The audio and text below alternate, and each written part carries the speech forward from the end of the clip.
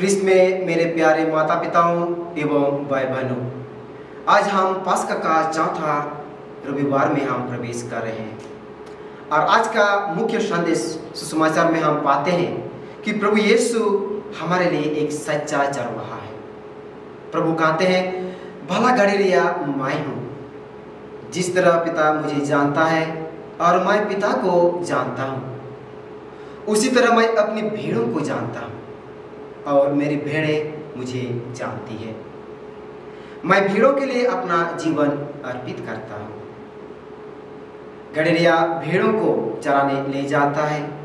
वह भेड़ों को न सिर्फ़ अच्छी चर, चरगाहों में ले जाता है, बल्कि उनकी जंगली जानवरों तथा हर प्रकार के खतरे से रक्षा भी करता है।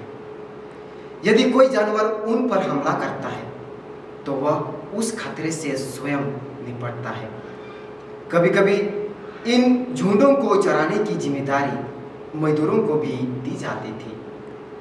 खतरे की स्थिति में ये मजदूर भीड़ों को अकेला छोड़कर भाग जाते थे। मजदूर को केवल अपनी मजदूर से मतलब होता था। वह अपनी जान पर खेलकर भीड़ों की देखभाल नहीं कर सकता। प्रभु यीशु ऐसे मजदूरों की तुलना इसराइल के धार्मिक नेताओं, जिन पर ईश्वर की प्रजा की देखरेख की ज़िम्मेदारी थी, से करते हैं जो लोगों की चिंता नहीं करते थे। वे अपने ही स्वार्थ एवं अडंबर की बातों में लागे रहते थे।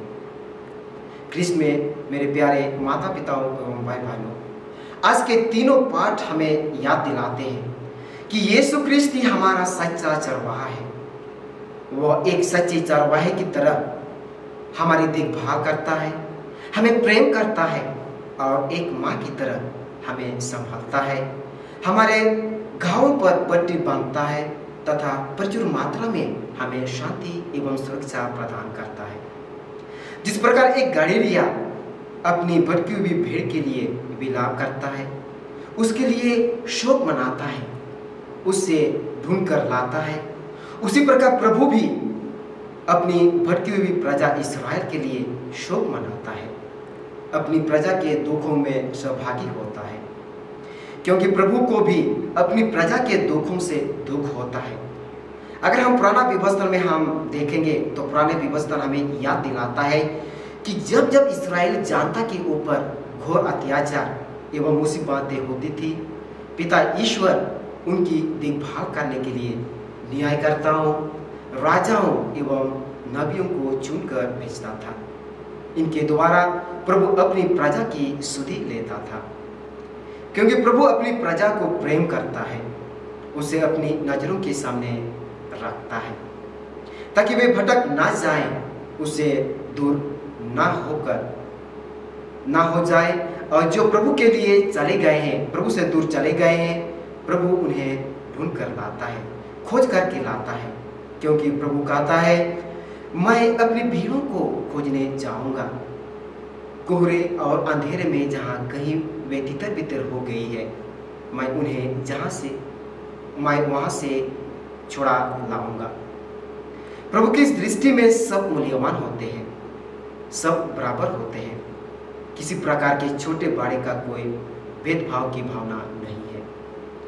प्रभु यीशु ने हम पापियों की मुक्ति के लिए ही अपने संपूर्ण जीवन कुर्बान कर दिया। एक भले गड़ेरियों की तरह उसने अपनी भीड़ों के लिए अपने प्राण निछावर कर दिए। क्योंकि प्रभु कहता है, भला गड़ेरिया मैं हूँ। भला गड़ेरिया अपनी भीड़ों के लिए अपना प्राण दे देता है। यदि सचमुच में प्रभु हमारा भला गड़ेरिया है तो हमारी यह ज़िम्मेदारी बनती है कि हमें एक भीड़ के गुणों को अपना जीवन में अपनाना होगा। जिस प्रकार गड़ेरिया अपनी भीड़ों के आगे आगे चलता है और उसकी भेड़ें उसके पीछे पीछे भेड़ अपनी मालिक की आवाज़ पहचानती है। जब वह उसे आवाज़ देता है, तुरंत उसके पास आ जाती है। हमें भी प्रभु यीशु के पीछे पीछे चलना होगा। उसके साथ जुड़े रहना है। हर एक परिस्थिति में चाहे सुख हो या दुख हो, प्रभु में बने रहना हमें अपने आप को पूर्ण रूप से प्रभु के लिए खाली करना होगा। क्योंकि प्रभु हम प्रत्येक जन को अपनी प्रजा की देखभाल करने के लिए नियुक्त किया है। पेतरुस के पहले पत्र अध्याय पाँच पद संख्याएँ दो और तीन में प्रभु कहता है, आप लोगों को ईश्वर का जो झुंड सौंपा गया, उसका चरवा, चरवाहा बने। ईश्वर की इच्छा के अनुसार उनकी देखभाल करें।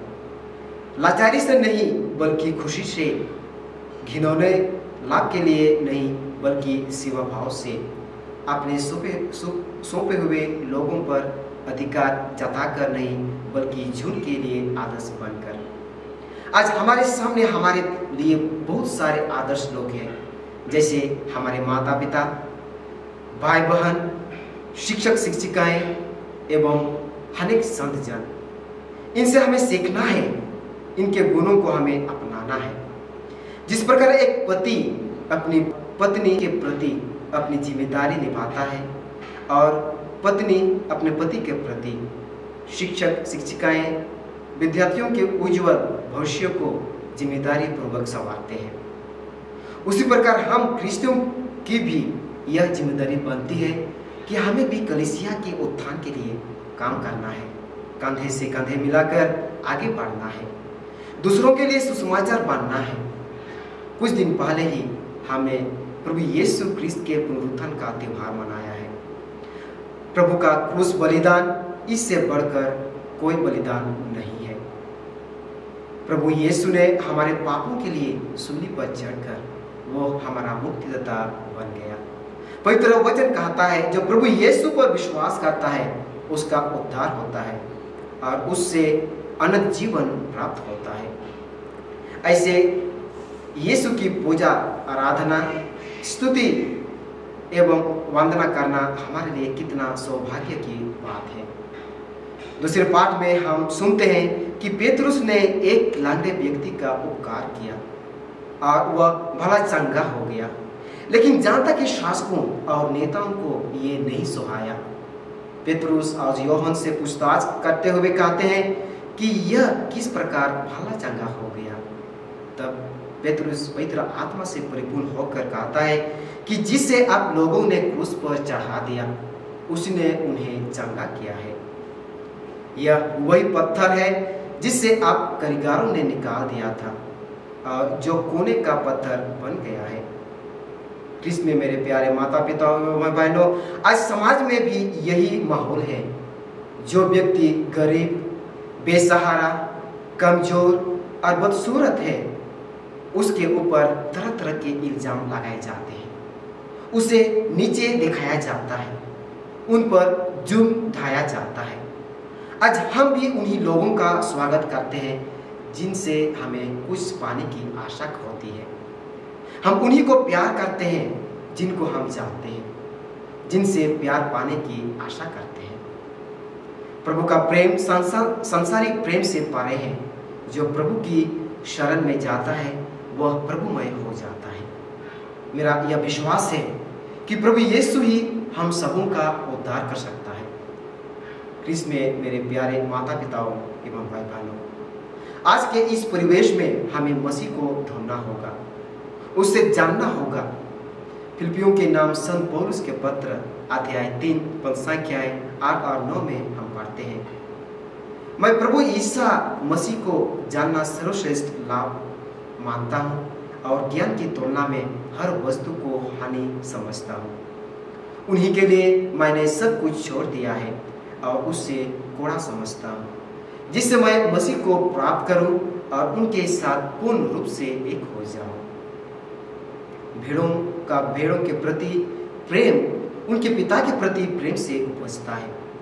उसी प्रेम से प्रेरणा पाकर वे अपने भेड़ों की देखभाल करते हैं। किसी मनुष्य के लिए अपने प्राणों से बढ़कर कोई चीज़ नहीं है।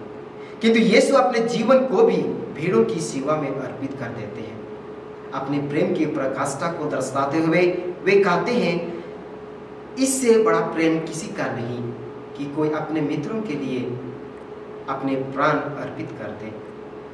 क्रूस पर अपने प्राणों को अर्पित कर यीशु ने अपने वचनों को सत्यता प्रदान की।